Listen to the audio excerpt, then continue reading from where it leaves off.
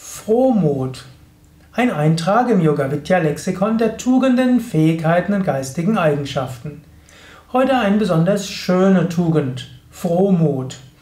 Frohmut kommt von froh und Mut. Mut im Altdeutschen oder Mittelhochdeutschen heißt nicht das, was heute heißt. Heute heißt ja Mut, Tapferkeit, Kühnheit, sondern Mut steht für Gemüt, steht für Geist, für Psyche. Frohmut, frohen Mutes, ein Gemüt, das froh ist, ein Geist, der froh ist, Fröhlichkeit.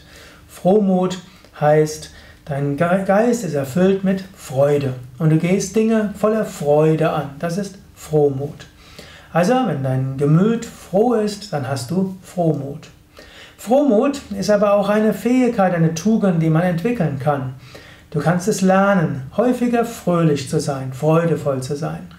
Natürlich, es gibt Situationen, die sind ärgerlich und es gibt Situationen, wo du etwas verlierst, wo du irgendwo vielleicht Trauerprozesse angesagt sind. Und so gibt es auch Zeiten, wo du etwas verarbeiten musst, es gibt Enttäuschung und so weiter. Aber als Grundeigenschaft des Geistes könntest du Frohmut kultivieren. Immer dann, wenn keinen besonderen Anlass für etwas anderes gibt, kannst du Frohmut haben.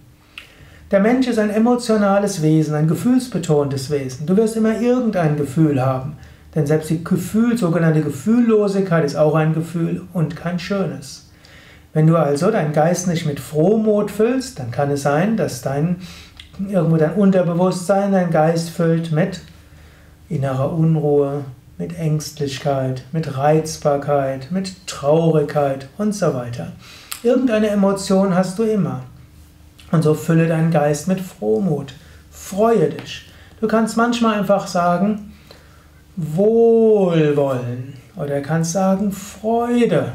Oder du kannst singen, du kannst ein Mantra singen, du kannst sagen, froh zu sein bedarf es wenig und wer froh ist, ist ein König.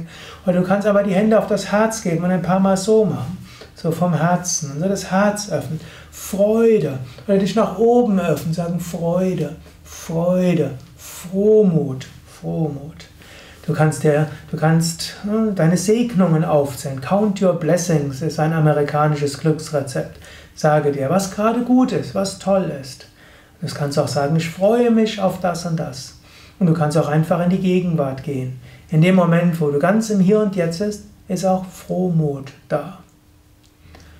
Überlege selbst, wenn nichts Besonderes da ist, was ist deine Grundstimmung? Ist es Frohmut oder etwas anderes?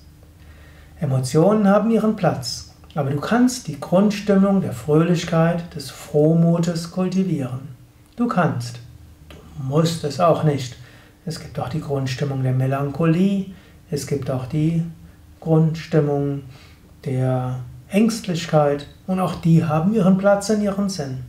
Aber schöner ist es, wenn du als Grundstimmung Frohmut hast. Es gibt natürlich eine Menge weiterer Vorträge, die ich schon gegeben habe. Es gibt ja auch den Glückspost-Podcast von mir, wo es viele Hörsendungen zum Thema Glück und Freude gibt. Es gibt den Liebespodcast, wo dazu viel zu hören ist. Und ich habe ja auch schon einige Vorträge im Rahmen dieses Tugendlexikons gegeben über Freude, über Fröhlichkeit. Und so will ich es jetzt dabei belassen. Aber frage dich, hm, was kann ich tun, um mehr Frohmut zu leben? Und wie könnte ich es vielleicht tun, dass wenn nichts Besonderes da ist, meine Grundstimmung Frohmut ist?